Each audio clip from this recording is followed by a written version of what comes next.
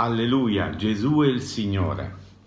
Buonasera a tutti, grazie anche del vostro ascolto di questi inserti, di questi momenti che noi emettiamo sui social. Vi raggiungo dalla sede nazionale del rinnovamento nello Spirito Santo, dove come responsabili abbiamo reiniziato settimanalmente ad essere presenti per essere vicini al cammino dei gruppi, delle comunità e dei cenacoli del rinnovamento nello Spirito Santo che pian pianino si stanno riaffacciando alla vita diciamo ordinaria, ma è un, modo, è un modo di dire perché sappiamo bene le grandi difficoltà che un po' a macchia di leopardo sul territorio nazionale le nostre realtà stanno vivendo per ricominciare a vivere la preghiera comunitaria carismatica, la formazione, la fraternità ma siamo passati in un'altra fase ed è opportuno in questa fase eh, guardare con fiducia, con fede, anche che con una fede intelligente, con una fede sapiente,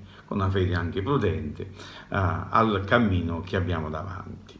E da stasera allora abbiamo voluto avviare settimanalmente eh, un inserto eh, sui nostri social nel quale eh, andiamo a eh, indicare quali saranno le prossime tappe eh, del nostro cammino come grande famiglia del rinnovamento dello Spirito Santo in Italia. Ci sembra bello condividere e dare diciamo così, la prospettiva ehm, di quello che eh, vorremmo realizzare come lo comprendiamo dallo Spirito Santo. Noi siamo certi che lo Spirito Santo ci invita a testimoniare la nostra fede, ci invita a pregare, ci invita a vivere la comunione fraterna, ci invita a riprendere con la dovuta cautela e prudenza il cammino dei nostri cenacoli, dei gruppi e delle comunità. Abbiamo allora denominato questa uh, rubrica in movimento. Certamente il rinnovamento nello spirito come parte del grande, della grande famiglia del rinnovamento carismatico cattolico è eh, nella sua essenza corrente di grazia. Ma quando questa corrente di grazia si incarna nel tessuto delle nostre parrocchie, nel tessuto delle nostre chiese locali, delle nostre diocesi, siamo anche un movimento eh, e in movimento esprime anche questa nostra capacità di vivere eh, la nostra dimensione ecclesiale.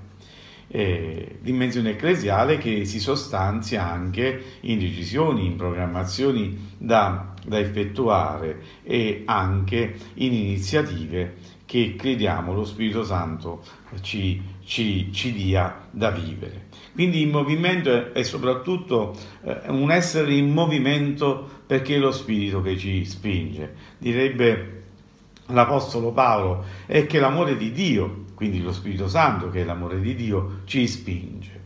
E nella vita spirituale non esiste eh, la dimensione eh, della stasi. La vita spirituale è un cammino, eh, San Paolo dice nella lettera, nella lettera ai Galati che se viviamo nello Spirito dobbiamo anche camminare nello Spirito. E chi si ferma nel cammino spirituale in realtà non si ferma ad un livello ma rischia di, di andare indietro. Il compito allora del Comitato Nazionale di Servizio, del Consiglio Nazionale, è anche di comprendere in questo tempo difficile cosa lo Spirito ci spinge a realizzare. E attraverso questa rubrica in movimento eh, ne vorremmo dare le ragioni, ma soprattutto le ragioni della fede, le ragioni spirituali.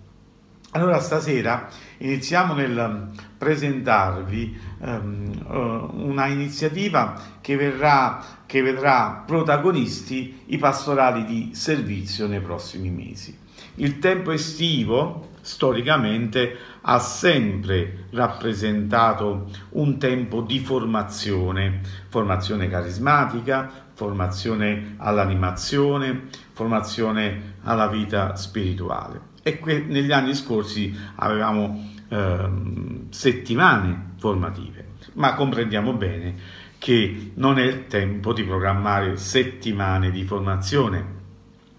Nello stesso tempo però abbiamo pensato che sia importante, soprattutto per coloro che hanno la responsabilità carismatica della guida dei nostri cenacoli, gruppi e comunità, eh, di riservare mh, per, appunto per i pastorali di servizio un tempo di incontro e di formazione nel quale riconsegnare nel tempo post-Covid la vita del rinnovamento. Il Covid ha certamente ehm, segnato uno spartiacque.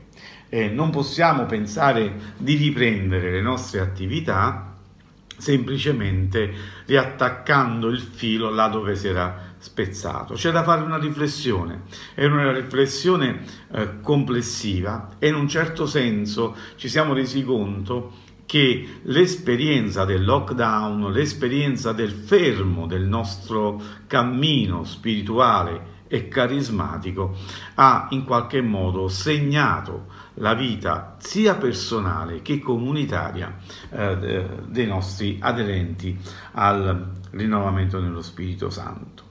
E quindi è opportuno, è giusto, è importante in qualche modo riconsegnare la vita del rinnovamento così come si può prospettare da questo momento in poi a coloro che hanno la grande responsabilità di guidare gli oltre 1800 gruppi e comunità sparsi sul territorio. Allora abbiamo pensato in questi mesi estivi di indire un incontro pastorale regionale, quindi in ogni regione, dedicato esclusivamente ai pastorali di servizio. Saranno incontri dove non potranno partecipare grandi numeri, perché in ossequio alle disposizioni legislative ma anche ecclesiali, saranno incontri dove non potranno, eh, diciamo così, vedersi grande affluenza di persone. E nello stesso tempo, proprio perché non saranno incontri con un gran numero di persone, saranno incontri molto approfonditi e importanti, incontri di due giorni, incontri di due giorni anche non residenziali, quindi con la possibilità per i partecipanti di poter tornare a casa, diciamo così. Abbiamo chiesto ad ogni regione di organizzarli in modo tale che i fratelli possano raggiungere facilmente questi luoghi, soprattutto se desiderano non farlo in modo residenziale. È chiaro che questi incontri eh, pastorali saranno realizzati laddove è possibile, secondo le modalità come appena detto anche mh, dateci dalle normative, senza forzare la mano, ma nello stesso tempo senza essere in qualche modo eh, schiacciati da una paura che non appartiene a coloro che hanno la fede. Come abbiamo denominato questi incontri pastorali? Gli abbiamo dato un titolo e secondo noi in questo titolo c'è già tutto il progetto. In comunione per un nuovo slancio carismatico. In comunione. Questo termine in comunione, che molto spesso è abusato, è fondamentale, perché la vita nello spirito eh, che abbiamo avuto attraverso la preghiera per una rinnovata effusione nello Spirito Santo, attraverso il battesimo nello Spirito, è una vita che si può esprimere solo in comunione. Non esiste relazione con Gesù, non esiste relazione con lo Spirito Santo e con il Padre che non ci faccia entrare in comunione. Dobbiamo ricentrare la vita dei nostri gruppi e delle nostre comunità nella vita di comunione il rischio di percepire una vita spirituale individualistica potrebbe essere stato accentuato nel lockdown, dove siamo stati forzatamente divisi gli uni dagli altri. Allora vogliamo ripartire da questo concetto, l'importanza della comunione. La seconda parte della frase che dà il titolo a questi incontri è per un nuovo slancio carismatico. Come ho detto prima, ci siamo resi conto, era normale, era ovvio che l'assenza per oltre tre mesi di una preghiera comunitaria carismatica vissuta in ogni gruppo e comunità possa aver affievolito Uh, in qualche modo uh, rattappito, in qualche modo, diciamo così, uh, ricondotto ad un livello più basso la nostra vita eh, carismatica. Abbiamo bisogno invece di un nuovo slancio carismatico, ma non perché ne ha bisogno il rinnovamento dello spirito, ne ha bisogno la nostra società, ne ha bisogno la Chiesa, ne hanno bisogno i fratelli e le sorelle che non appartenendo al rinnovamento dello Spirito Santo verranno dopo questa esperienza del Covid a bussare alle nostre porte, pian pianino, quando succederà nei prossimi mesi, ma avremo tanti fratelli e tante sorelle che forse questa esperienza del Covid ci porterà con tanti bisogni. E a questi bisogni Dio corrisponde attraverso i doni carismatici che dona alle nostre comunità, nelle nostre comunità, ai, ai fratelli. Quali saranno allora i temi fondamentali che svilupperemo in questi due giorni che abbiamo eh, iniziato a programmare in ogni regione?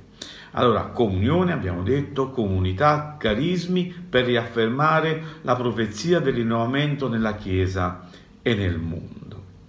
Ma un altro tema che intendiamo rimettere al centro, al fondamento della nostra esperienza del rinnovamento dello spirito è l'importanza della preghiera comunitaria carismatica, primo valore identitario del rinnovamento e soprattutto anche un grande strumento di evangelizzazione, con tutta la dimensione della profezia che evangelizza, con tutta la dimensione anche della fraternità, della preghiera e della lode che ci porta alla presenza di Dio.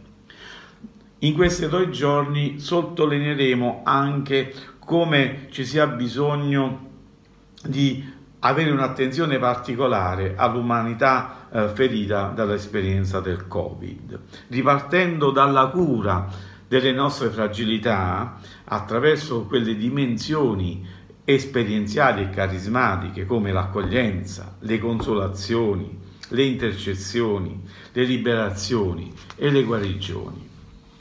In ultimo, altro tema fondamentale che intendiamo affrontare è ricondurre eh, al cuore, quindi ricordare ad ogni responsabile, ad ogni fratello dei pastorali di servizio che si è stati eletti dal Signore al servizio del rinnovamento.